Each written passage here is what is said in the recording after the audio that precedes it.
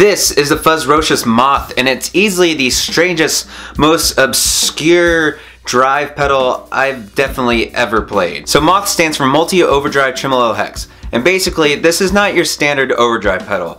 It's an overdrive, it's a fuzz, it has a tremolo function and a hex, and the hex basically is oscillation. So you have overdrive, fuzz, tremolo, and oscillation all in one casing. So you have a standard volume knob that controls the output from the pedal, and then your gain knob, which is very different from most pedals. Basically, you have a very clear overdrive when it's dimed all the way, and then you have more of a nasty fuzz as you roll back counterclockwise. And this cool knob here is your hex knob, which is basically your tremolo and your pitch oscillation. So when the hex knob is fully counterclockwise and the actual effect is engaged, you're gonna have a tremolo effect over your drive signal. And then so basically as you go clockwise, it's gonna speed up until it turns into the oscillation, which then turns into all these crazy glitchy noises, especially when you have the drive also as well. And one really cool thing about this pedal is you can turn your volume all the way down on your instrument and still play around with the tremolo oscillation feature.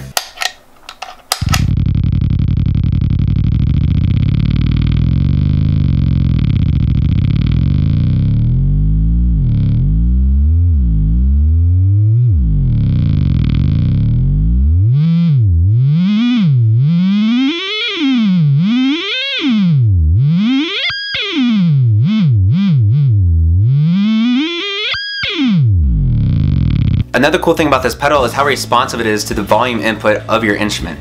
So when I would roll back the volume on my neck pickup, it become much more clear and very, just very cut through. But then when you have everything stacked up, it's very thick and very meaty. So again, this pedal is extremely obscure. It's just so different and very unique in its own way, especially combining all the different elements. I had a lot of fun just playing around with it and seeing what all I could do with it. But let me know what you guys thought about it. Thanks for watching, and I'll see y'all next time.